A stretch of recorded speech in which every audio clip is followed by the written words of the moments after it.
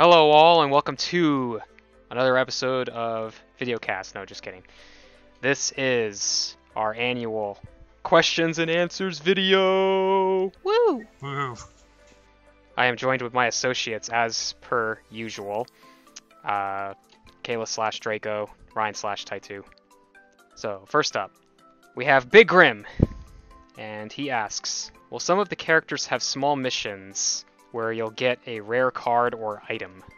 So there'll be lots of side quests, of course, in this game, since in uh, Shoot for the Stars, as it's a very big, massive RPG game with many, many characters. That includes both major characters and and uh, non-playable characters, and you may obtain rare cards or items. Yes, very possible.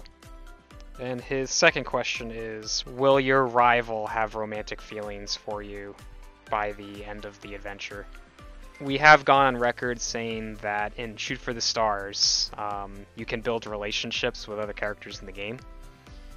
Therefore, some of them do end romantically if you so choose. So it's basically up to you to pick which one you'd like to go out with. Next, we have uh, Fission Essence. Uh, they ask, for, for each of you, are there any other games or properties that you look to as inspiration while you work? Be it this is a uh, this is a trading card game. The other trading card games I've grown up with, like Yu-Gi-Oh and Cardfight Vanguard, are massive inspirations and have contributed quite a lot to the project. I've borrowed a number of ideas from those two properties uh, so how about you guys? Big inspiration was obviously the Persona series, um, but that was sort of something we baked into the um, the game system itself. Uh, as far as less obvious inspirations, um, a lot of uh, card games I've played, um, namely specifically WIXOSS, was a big inspiration for how the game plays now.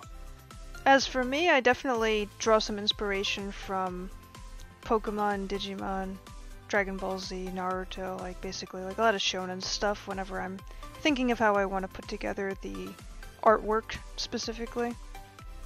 They also ask, do you ever have a problem and think, how did X company handle this issue? A lot of the times we've been sort of looking at other like smaller indie game devs and everything to see how they've sort of structured themselves, how they've succeeded, how they've failed, uh, trying to figure it out ourselves, plot our own course, and make sure that we do not fail ourselves. Next we have OIO. Have you added any new coding languages and or techniques to your works? So as far as Shoot for the Stars actually, I mean, I learned how to script for Photoshop, if that counts for anything, but that just uses JavaScript, which I already knew. Um, but for hide and seek, um, I had pretty much gotten a bit more into learning how shaders work. I already had a pretty good foundation for them, but I really got into them for hide and seek, but because it was required for our lighting system. And uh, yes, I feel like I understand them better. I've been using them even a little bit in Terra Zone now. A follow up to that is which of your works currently in progress and completed is your favorite or enjoy the most and why? Uh, more or less like hide and seek was kind of like a trial game, so we knew going in with that game that it was going to be a short game. So uh, obviously Shoot for the Stars has a lot more to it, so just because it has more to it, um, I would say that Shoot for the Stars currently is a favorite only for that reason. However, I did enjoy a lot, and I mean, like, I greatly learned so much from animation when I was working with Hide for the Zeke specifically. Oh, wait a minute. Hide, Hide for, for, the, the Zeke. Zeke. Hide for the Zeke. I meant Hide and Zeke. Hide for the Zeke coming out next year, May 2021. Yep. We skip two and three. We're going straight to four. We're like Windows. Yeah. I mean, Terrazone has more stuff in it, and I have to I have to be biased because I've been working with Terrazone for years and years and years. Um, I guess like talking about both franchises, my favorite thing to do for both of them is the uh, the character designs. I have a lot of fun designing the characters, coming up with their personalities, their designs, little flares and things you can add to the design to make the character stand out from other characters. It's always just very interesting to me. I'd say probably I'm enjoying in Terrazone the most that I've been sort of able to dip into all different sorts of um, aspects of that game, be it the writing, the programming, the HUD design, all those things. Uh, so I've just been generally happy with the quality of everything that's been um, that I've completed. Next we have Neoclassical Succubus. They ask, what's in the future of the game? In the future, the game will be released to the public. On a more serious note, um, in the near future, there's going to be a playable demo, obviously free of charge, that everyone can dip their hands into a little Terra Zone, shoot for the stars, play a little Terra Zone Clash of Creatures within, get a little taste of what the game is like. And then we have mentioned before how we're going to be doing a uh, Kickstarter to help fund the project as well, because if it gets funded, then the game can get even better. Ah, but he also asks what's in the future for the story. Oh, well, that's that's going to be a very simple answer. You'll have to play to find out. Bold of you to ask the creators for spoilers of their own story. All right, next we have ShaneM201. He asks, "Would you cosplay Destiny Dragon?" No, I will not. He also asks, "Would you go to more conventions after coronavirus?" Uh, no plans in the near future. uh, moving on, we have Warm Hearts. Okay, the first question is, how long did it take to get started? So I would say probably about a month before we started because we had to wrap up Hide and Zeke. And then we took like a bit of a break and then we jumped on Shoot for the Stars because we were loosely talking about it. And I remember, I think I remember the first day we started working on it. That's when I was drawing up character designs. Uh, their other question is, how long did it take to create the characters? Not too long, actually. Um, all their designs came about pretty quickly. Um, it takes me, I want to say, like an hour to do like a, a rough uh, design for the character, and then I brush it by Ryan and Kayla here, and then we all kind of share our thoughts and opinions on it. And then uh, to get them in a place that I want them, probably like throw on another hour or so after that, and then you pretty much have a character. All right. Um, next we have Skyscape. How did you get started as a company, and how did it progress from its beginning to what it is now? Uh, Mystic Mask Media started up, I want to say, in 2017.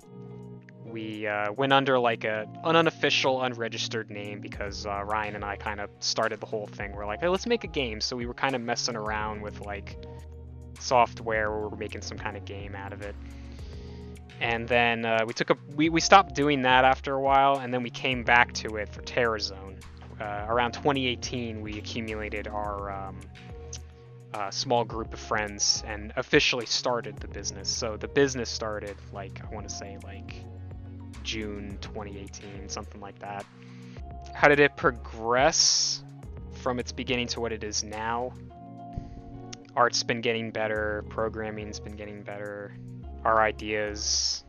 We're starting to like kind of feel out what people want, what people might like. All that stuff is very tricky and takes a long time to uh, kind of understand. I could also add that for a company, it's very important to be able to communicate properly with everybody. Um, between the three of us, we're always meeting up, and it's very important to be able to agree to disagree with different ideas that you might have. And yeah, making sure that communication is very, very important in a group is uh, pretty crucial. We have our disagreements, but we're very civil over it. So that, that it's it's it's that that lets us keep pushing forward. So you just always remember that. Like if you have uh, you have if you have a party of people that are all working on something together, and you're a part of that party. Um, it's okay to have disagreements. It's gonna happen. Do you have any tips for someone wanting to start a company, whether it be by themselves or with a few friends? Don't overdo the amount of people that you put into your company at the start. Don't start with a lot of people. That is, I, we all highly recommend that. Because the more heads you throw in the project, the more butting of heads is going to occur. A general good rule of thumb, which honestly is something we're not even following at the moment, but at least as far as making a game company, it's recommended to have one person artist, one person programmer, and one person business. We're missing a business person right now. We've got two artists instead, but so far it's been it's been working out for us. Yeah, Uh, we've been we- okay. Yeah, we do we do have a f- friend that we can um, go to as far as business concerns. I would just say that anybody else that's included in the group would just be commission or employees at that point. Yeah, someone who's not like a big a big head in deciding what happens. There to contribute their talents, not their opinions. Yes. King of Red Lynels asks, when is Nerdigator getting printed and is there art in development? I bet nobody knows who the heck Nerdigator is, but we will answer this question anyway. uh, kind of an inside joke, there is a card in the game called Alligator. In that picture, there's like a little nerd gator in the background, and Alligator's kind of sticking up for him. Yeah, don't worry, I got this. Don't worry about it. Like he's one of those dudes. So we, uh, K, uh, Red Lynels and I created this like little inside joke. It was like, oh, what if you know that? What if that nerd character became a character? And then like uh, Lynels was like, yeah, he's called Nerdigator. And I was like, you know what? Let's make it a card one day. So yeah, we probably will be making that a card. Um, unfortunately, I can't say that there's art in development yet for him, but I'll he I'll draw it up Ew. right now. Nerdigator's in development right now in MS Paint. Yeah. There you go. Alright. We have Toom Cards. Uh, Toom Cards asks, How long did your testing phase go for? So this iteration, which would have, which would become the final, the final iteration of Terra Zone. started in January of 2019, I believe. Fun story, Taitu and I used to work together somewhere, and um, it was there where he was like, "Hey, so I have a proposal," and he brought up a Word doc, and it had like a list of changes to make to the game because I said previously I don't really like the way the game plays. It's kind of boring. So he proposed this idea, and I was like, you know what? Let's give it a shot. After many, many months of testing and changing, short answer, it took about a year and a half to get through the testing phase until we were really satisfied with it. Where we played like 50 games and we were like, all right, it's good now. And then with all the different conventions that we went to, uh, I'd say easily combined with what we've done plus other people, at least a hundred different battles we've done throughout that testing period. It's been very well tested up to this point. Oh yeah, because you, you just have to do that. Like you have to play your game over and over again. If you're not having fun with it, fix it. All right, and they also ask, why is Terrazone the best card game? We think it's the best card game because it brings in a whole new unique spin on the card game, trading card game genre, in which card placement matters way more in this game in so many different ways than it does in all of the other card games out there. I think it also comes out even in the way we've handled effects in the game. Um, a lot of card games, it's usually the most boring generic effects that are the best in any card game, and we've tried to make everything niche so that there's more interesting ways to play the cards instead of just, oh, this card draws you a card, so it's instantly good. Well, that's fun we've yeah we've tried to expand make make people have to think a bit more about their plays One of the things that I really like about this card game is how each affinity is truly very unique from one another. So, say like, uh, you know, you have we released wind, earth, fire, water, and they they all play very differently from each other. A lot of card games, I mean, they do do that, but it's usually just very generic kind of effects that just kind of get amplified. Whereas in this game, it's literally like very very different effects, such as anything from moving cards around, bouncing cards, uh, creating tokens on the field, and then gaining like these effects off of these tokens. So we try to break the mold a little bit with how each affinity works as well. Yep. And then, like, lastly, I'll just say too, we try to give every single card some sort of a point. Because I've I've noticed this in a lot of card games where they just print garbage that just sits there in a closet and doesn't do anything. Like even our vanillas, we give them oh they can go in the opposite direction the affinity doesn't go in normally. Like that just just that as an example. Getting to the end here, folks. We have Angels of the Renaissance. They ask, what was your inspiration to make the card game? back in the fifth grade, there was a little game called Kirby 64, and it had a little section in the game called enemy info cards. You would collect them randomly as you finish a level, basically, and then it, they, there wasn't much on them. It was just a little picture of a dude, and then like the like what number it is. And I just already right off right out of the gate, I just found that so interesting for some reason. Just like, oh, I'm putting things in order. This guy's number one. This guy's number two. So that eventually graduated into things like Pokemon and Yu-Gi-Oh that had a whole bunch of collectible monsters. And they all had their own different powers and stuff. Like all that stuff to me as a kid was super fascinating. I was just like, I really want to do that too. And so years and years have gone by, and now we have Terrazone Clash of Creatures. They also ask, how many years have you put time into creating your game? Oh boy.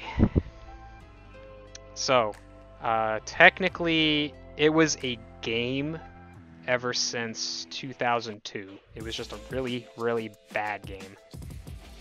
And uh, by no exaggeration, it is ridiculous how many years have been put into this. On and off, though, not consecutively, because I did have a break for a few years where I didn't do anything and this and that. You know, you know how life goes, guys. We are down to the last question, and it is from N Rondo. What's the favorite character? What's your favorite character that you've made so far? We'll start. We'll start with you, Ryan. well, I haven't created any of the creatures really, so I suppose that one I can't answer. But as far as the characters, uh, I mean, Son's pretty obvious, right? He's pretty, pretty goofy guy. Yeah, there's a reason um, he's the head of the devlogs. um, yeah, no, kind of a boring answer, but yeah, I'd probably say Sullen is my favorite. He's got a very unique personality, and it shows. Son, Son just goes in. He does not care. He will do what he wants to do. He even throws snowballs with his bare hands. Yeah, he's a boss. He'll just... I don't care. I don't need gloves.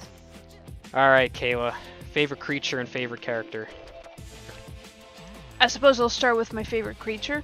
So, my favorite creature would definitely be Dragon Girl because, you know, dragons, she's got like the best dragons ever. She rules all the Dragon Kingdom. She's got the awesome fangs and everything. And, I mean, I like her so much, I guess I'll reveal it. I'm going to be uh, planning on cosplaying her in the near future. Oh man. Oh man, there's an update in the Q&A video. There's an update in the Q&A video. Watch all of our videos. You never know. You never know. We might give you, sprinkle a little information in there. And then for character, yeah. I mean, I also like Son because, I mean, he's a really funny character. But if I had to choose a different character, Shikaku's a very close second favorite. I mean, I love his interactions with Son. It's really funny to me. He's like. It was always like so afraid of Son and what he's going to do to them and like how he's going to bully him and such. But I also like the air of how he's dressed. I think he's got a really cool hairstyle and uh, just his overall personality. I think is really fantastic.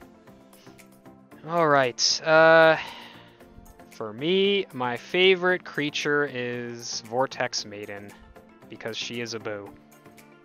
And for character, mm, they're all kind of warmed up to me at this point after drawing them so many times. But I will have to say Haley. Because she's as cute as a button, you every time I look at her, I want to give her a big hug. Oh, and I think I remember a creature that Ryan does like. I do believe he really liked Flying Pig, yes? Oh, yes. Good old Flying Pig.